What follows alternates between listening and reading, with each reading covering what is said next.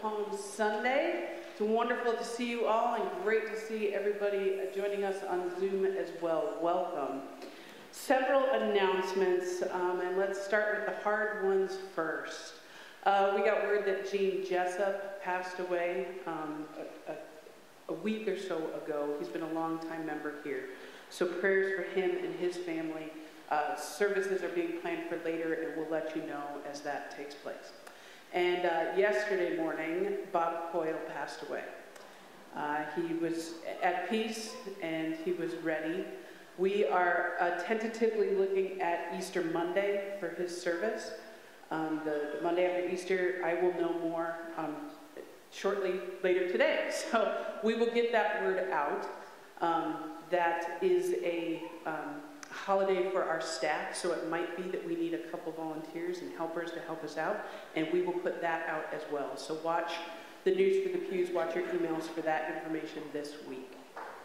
And prayers for our church community as we mourn Bob's loss and for his family. Okay, this week is Holy Week, so there's all kinds of announcements to make about that. Um, there's no web on Wednesday due to Holy Week, but there is a 5.30 Maundy, Thursday service with communion will be in the chapel. And then on Good Friday, there's a 5.30 service for Good Friday. On Easter morning, we're going to have one service only at 10.15.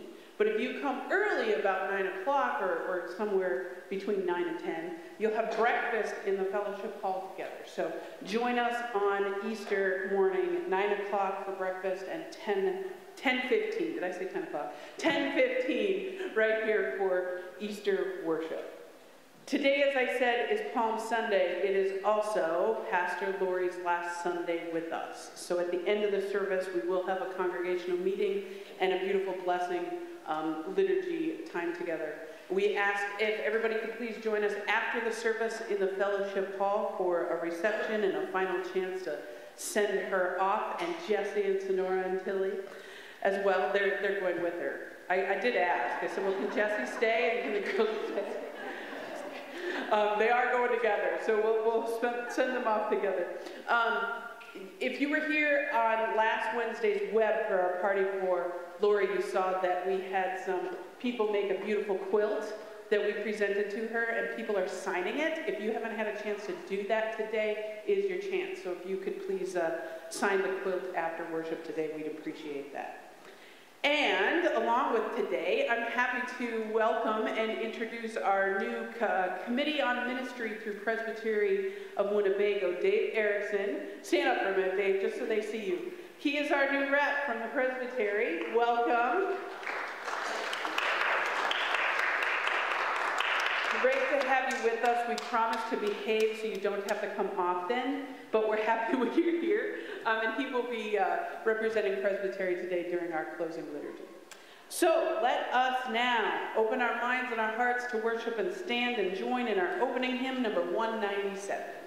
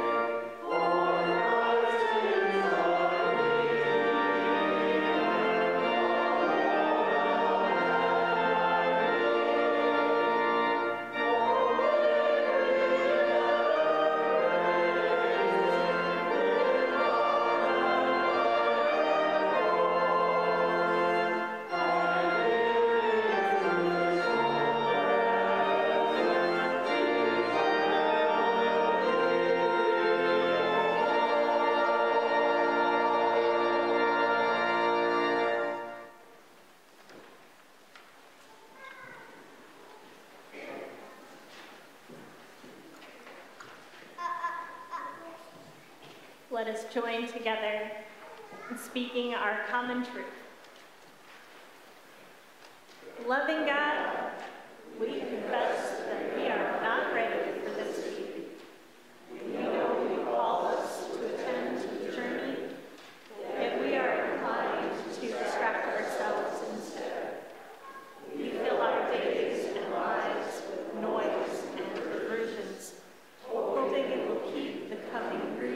that are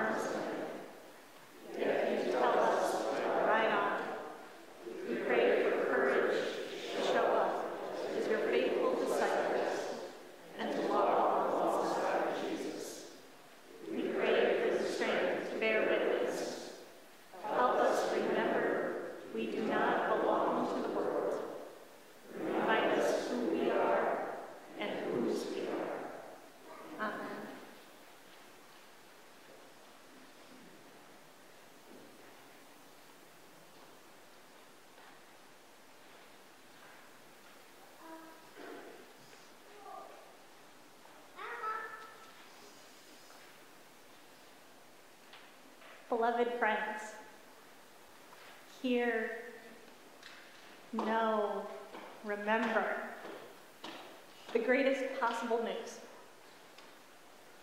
You are seen, you are known, you are understood, you are beloved, and you are forgiven. Thanks be to God.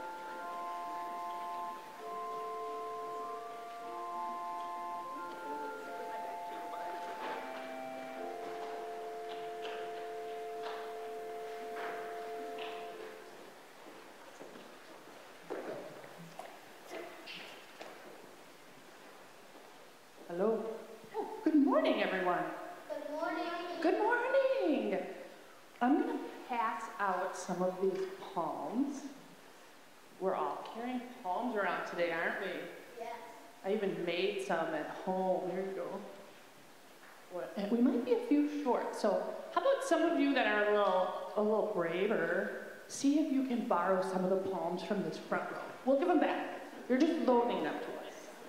Okay. Pass those down. Look.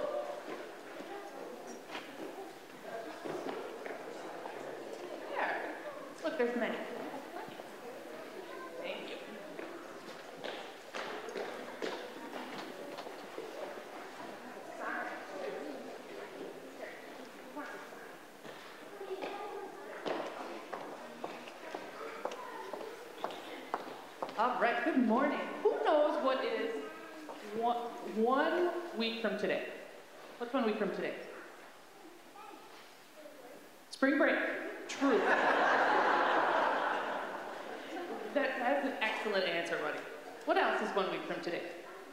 Easter. It is Easter one week from today. So today is Palm Sunday, right?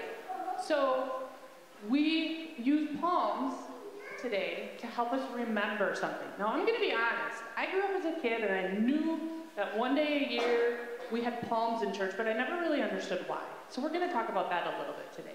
What is Palm Sunday? Palm Sunday marks the beginning of what is called Holy Week.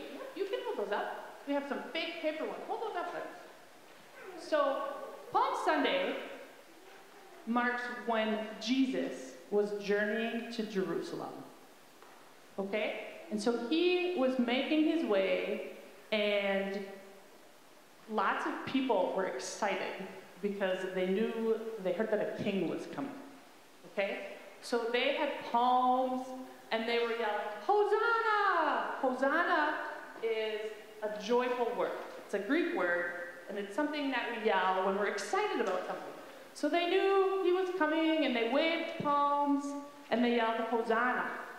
And one of the things that they did as he entered Jerusalem is they knew that he was coming and he was going to be their king and he was going to be their he was going to save them. But they thought that maybe maybe he was going to save them from the Romans. But really, what, what was he going to save? What did Jesus save everyone from? Did he save us from our sins? And did he know that when he was coming to Jerusalem? He did. So all the people that were lining the streets and excited for his arrival were waving their palms. And do you know what they did? So back then, maybe the people who were walking around didn't have shoes that were quite as protective, and your feet got really dirty because you were in sandals. So they took their palms and they took their cloaks. Cloaks is another word for maybe your coat or what you're wearing. And they took those cloaks off and they took palms from the trees and they laid them down on the ground so that as Jesus came, his feet would not get dirty. He was riding on a donkey, but they were basically welcoming him. So palms, the reason that we have palms as a memory is to remember that we're welcoming Jesus in and that he is our Savior. Jesus knew he was coming to die for our sins. So today is the start of Holy Week, and as we journey through this week, this is one thing that we use to remind us that he died for us and that he always loves us. So let's pray. Dear Lord, thank you for dying for our sins. And help us to remember this week to think of you and all that you gave so that we may have eternal life. Amen. Give your palms back. Give your palms back to whoever you borrowed it from.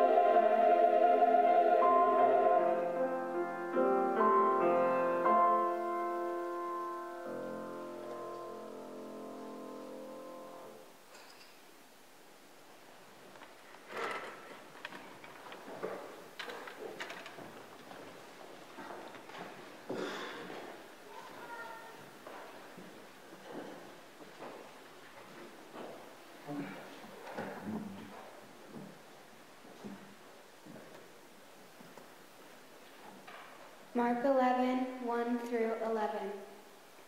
When they were approaching Jerusalem at Bethphage and Bethany, near the Mount of Olives, he sent two of his disciples and said to them, Go into the village ahead of you, and immediately as you enter it, you will find there is a colt that has never been ridden. Untie it and bring it. If anyone says to you, Why are you doing this? Just say this The Lord needs it and will send it back here immediately. They went away and found a colt tied near a door outside in the street. As they were untying it, some of the bystanders said to them, What are you doing, untying a colt? They told them what Jesus had said, and they allowed them to take it. Then they brought the colt to Jesus and threw their cloaks on it, and he sat on it. Many people spread their cloaks on the road, and others spread leafy branches that they had cut onto the, from the fields. Then those who went ahead and those who followed were shouting, Hosanna! Blessed is the one who comes in the name of the Lord. Blessed is, is the coming kingdom of our ancestor David. Hosanna in the highest heaven. Then he entered Jerusalem and went into the temple. When, and when he had looked around at everything, as it was already late, he went out to Bethany with the twelve.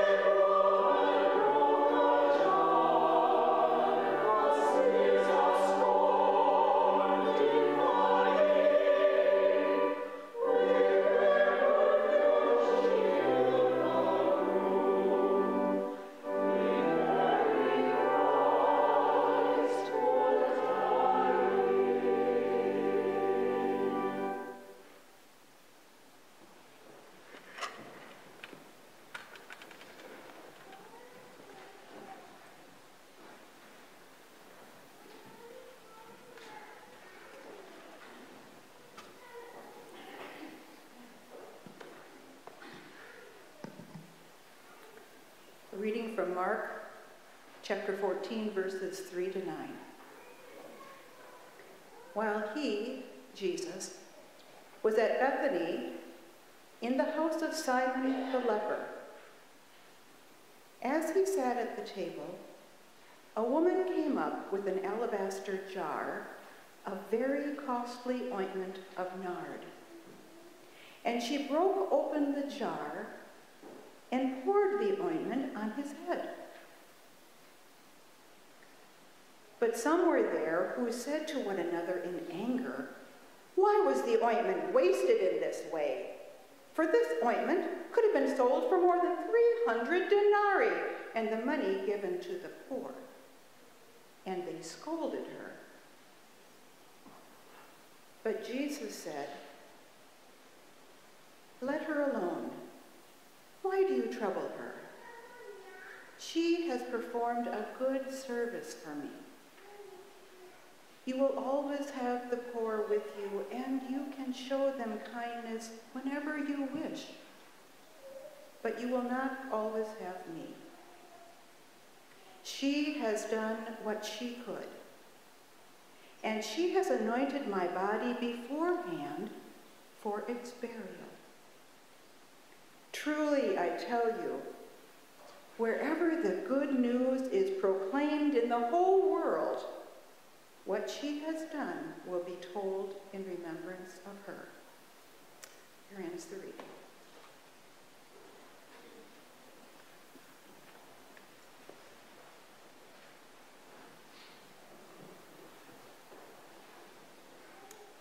Thank you, Allie, and thank you, Deb, and thank you. Pray with me.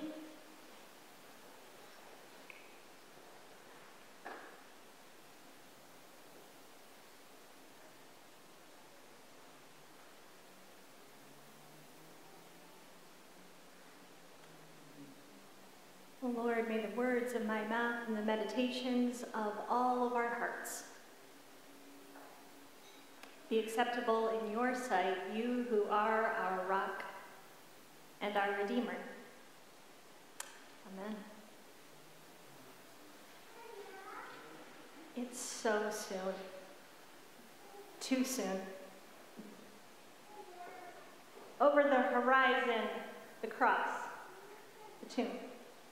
He feels it rising like bile, pushed aside, small denial of the things that will come to be deep breath. Next step go set the people free. But first, a parade. A riot of jubilance, a Colt palm fronds, a mockery of militants.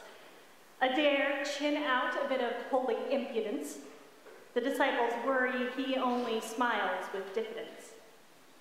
The dividends, the price to be paid, the cost of all that he knows will be lost. How much does he know?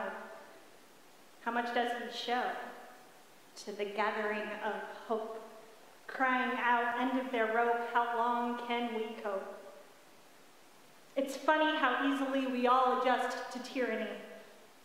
Like if it's less than directly applied to me, to us, the fear, and even though we know somewhere someone is hurting right now, if it's mine to solve, I don't see how. So today I'll avoid the glance, I'll look askance, dodge the particles of violence in the very air I breathe, the empire sees. Then like oxygen in a too close space, here he is, salvation on his face. Every step he takes grace Erase all that we allowed to happen. Let the world flip over. Let the sunlight in. Yes, let this be the Messiah. This prophet they've heard, good for his word. The jubilation echoes, resounds, safety in the crowd. His word is renowned. Confidence this Sunday so very high. But come Friday, all will fly, flee, under Roman decree till the streets are ringing only with pain. A God that so loved the world cannot be contained to only the stories we know well, to only the stories we wish to tell. Take another step. Give them your best, no time to rest, preach and teach and heal and reveal the turning over of the world, systemic pain no longer concealed sinister reach of empire laid bare, an ugly flag unfurled. Every word he means it. Let the poor know their worth. Let every lost heart that walks the earth, hear they are known, they are loved. Empty, walk away the rich, power inverted, he plucks out the stitch that it turns out held the whole thing together. It doesn't mean he's not afraid. As he mounts the colt, moves out of the shade, the shelter of safety lost for good this last chance to evade. His palms are sweaty, knees weak, arms are heavy. He's nervous, but on the surface he looks calm and ready. But here comes gravity, and the distance looms Calvary. Right on, Right on, Right on. He knows it's time. It's too soon. Their spirits are buoyed, his is a lead balloon. Time to show up and attend. But first, a gathering of friends, community, Chosen family speaking love with impunity, take this last opportunity to show what all this means. Meant. We rush through it all to our detriment. She rushes up, jar of alabaster, resists the voices to outcast her. Holy gift, anointed one, should save it for the appointed when, if not now. If not him, if not this, then who? Then how? Blesses his head, sweet oil for dust, insists that she must. The disciples reproach that she should even approach the teacher with this much. Yet he knows how to receive her touch.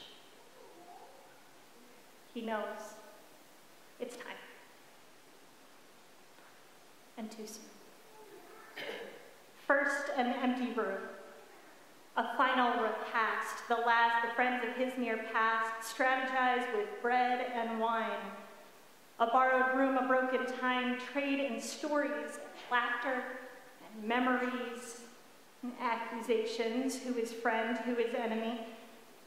They dine with a layer of disbelief, hoping some hymn ex machina might bring relief.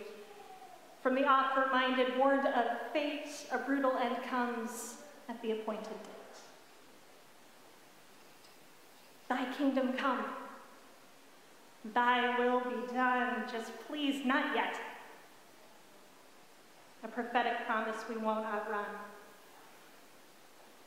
So the children, with their hallelujahs, sing out the choice that we couldn't choose that we all will be loved, and all means all. We couldn't do it, but it wasn't our call. And so the hands of the one who will hammer the nail, blessed. Forgive them too from pain beyond the pale, blessed. The soldiers who execute the oncoming dread, blessed the disciples who made promises and then turned and fled, blessed the women who stayed and watched their love revealed, blessed. His mother and the strangers he healed blessed. Caiaphas and Pilate blessed the soldiers casting for lots, blessed. Peter with denial, Judas betraying, blessed, and every single one of you, and every heart that strayed, blessed. A miracle of courage into known destruction, a litany of love, a church under construction. Beloved, grace without exception, the hard won road to resurrection. We ride on, and ride on, and ride on.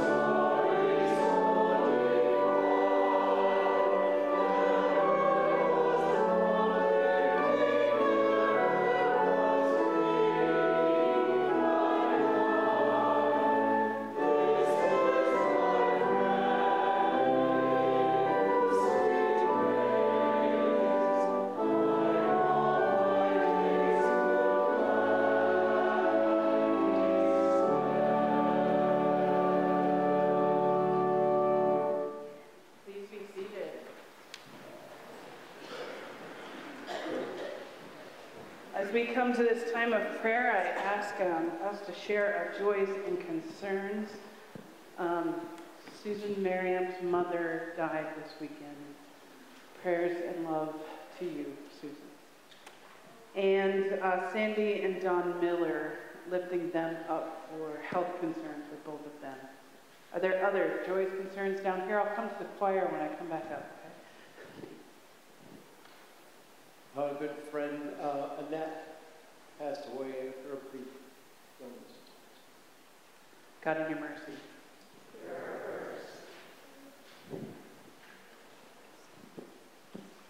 Just a joyful amen to that sermon and to all the amazing sermons that Lord has delivered. Praise be to God. Way up there. There was a palm branch that I thought was a hand, so I was staring at Heather for a second. Others down here? Yes, please, Paul.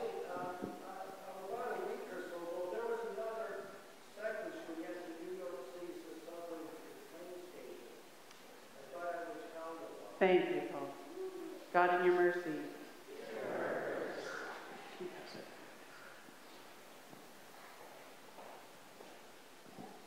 It's a special, joyful day. It's Debbie Griffith's birthday. Debbie's birthday! Praise be to God. Happy birthday, Debbie. Any others down here? Hey, choir, anybody?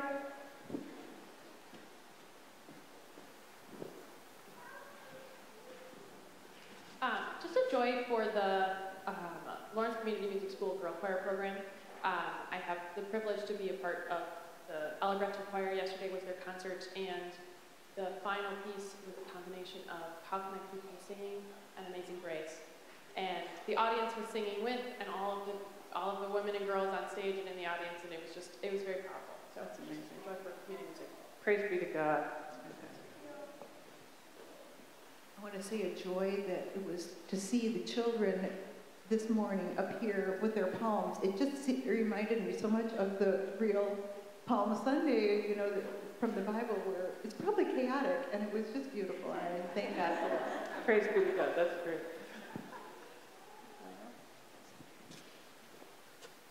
This may be a bit of a downer, but continued prayers for my brother who's recovering, fortunately, from his uh, health issues. God in your mercy. Let us go to God in prayer. God, we give you abundant thanks and praise that you call us to be your people, to follow your lead set before us in the person of Jesus Christ. We thank you for the gift of the Holy Spirit that enables us to hear, to know him, to receive his call to walk alongside. Help us to be the church you have called us to be. God, in your mercy. God, we pray for this great big world, for all of those places that are struggling this day. We pray for an end to war everywhere. We pray for peace. We pray for leaders, for militaries and civilians alike, to join hands in solidarity around the globe. That truly we might be your one people that you intended us to be. God, in your mercy. We pray, O oh God, for those who are near and dear to us, for all of the joys that we have lifted up, and for all of the joys that we feel so present in our everyday. For the joy of the Lyda Bright family, for the joy of their next adventure in Milwaukee. We give you thanks and praise. We pray for those who are struggling, those who are mourning the loss of loved ones, those who are struggling with health, struggling with addiction, struggling with mental health. Struggle.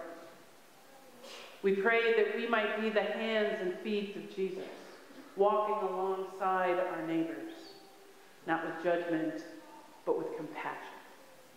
God, in your mercy, we pray for those things that we name now in silence.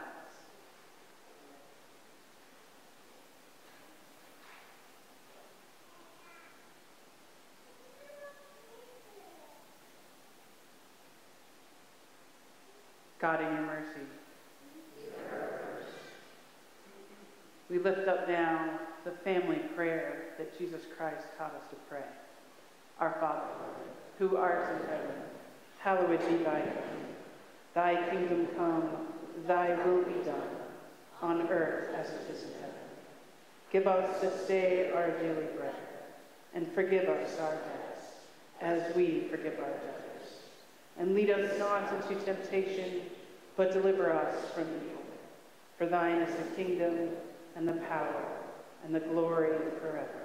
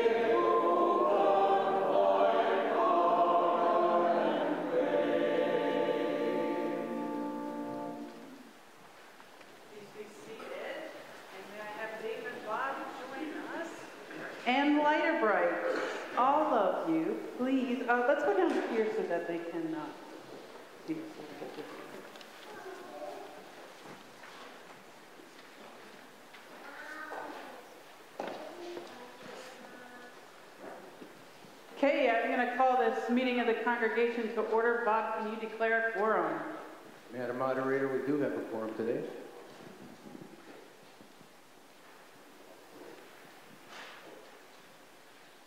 The Church of Jesus Christ is constantly changing. Our church is changing as well. Babies are born, children grow up, people commit themselves to one another, loved ones die, newcomers join our community. Others leave, moving on to new places and new opportunities. It is important that we recognize, as an act of worship, these times of change. Today we say farewell to a special family. On October 1, 2022, this congregation called the Reverend Dr. Lori Lyda Bright to serve with us as associate pastor. Today that call comes to an end as we send Lori, Jesse, Tilly, and Sonora off to their next adventure in Milwaukee. Our dissolution papers show a date of April 20, as we will cover Lori's unused vacation.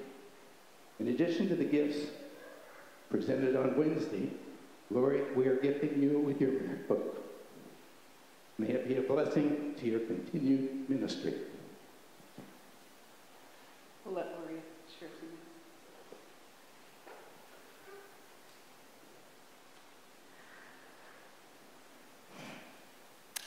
Friends, for the ways I have disappointed you, I pray for your forgiveness. For the ways you have trusted me, I pray that I have been worthy of you.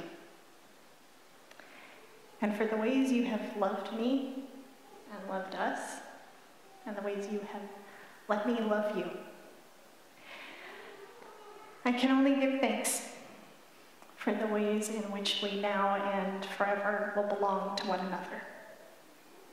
Thank you, First President. Let us join together in our unison prayer as printed in the bulletin. Living God, you have led us over the past year and a half.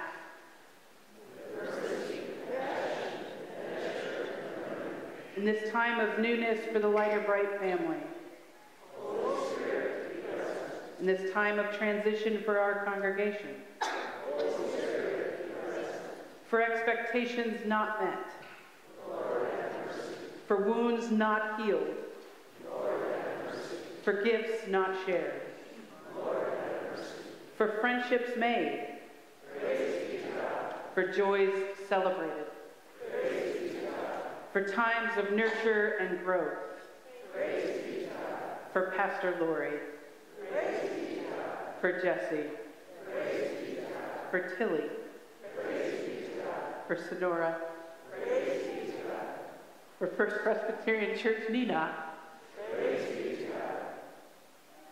For the spirit that brought us together. The spirit which sends us forth to love and to serve.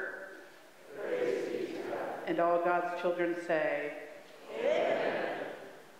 For the congregation, do we, the members of First Presbyterian Church Neenah, release the Reverend Dr. Lori Lyda Bright from service as our associate pastor? Lori, do you, Lori, recognize and accept the completion of your ministry with this congregation? I do with God's help.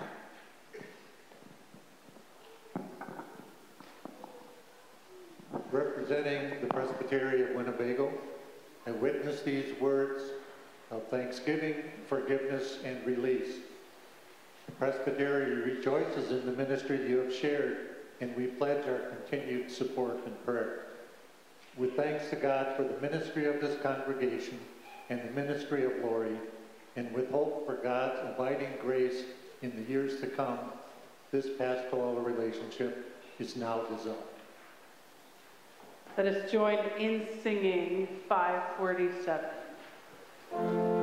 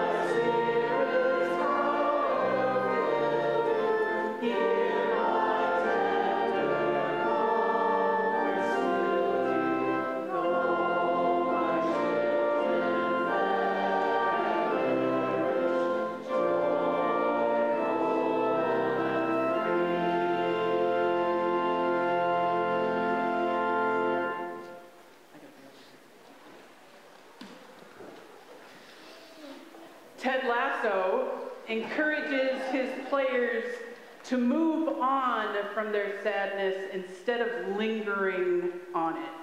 He tells them to be goldfish, the happiest animal on earth, because goldfish have a 10 second memory.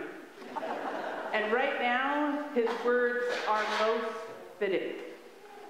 This is a sad moment right here for all of us. And there ain't nothing I can say standing in front of you right now that can take that away. But please do me a favor, will you? Lift your heads up and look around this sanctuary. Yeah? Look at everybody else in here. And I want you to be grateful that you're going through this sad moment with all these other folks. Because I promise you, there is something worse out there than being sad, and that is being alone and being sad. Ain't nobody in this room alone. Let's be sad now. Let's be sad together. And then we can go be gosh darn goldfish. Onward, forward.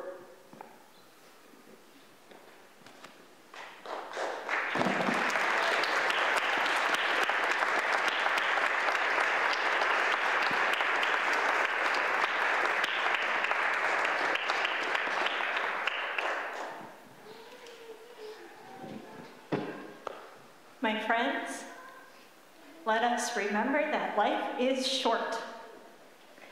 And we have but little time to gladden the hearts of those who travel with us.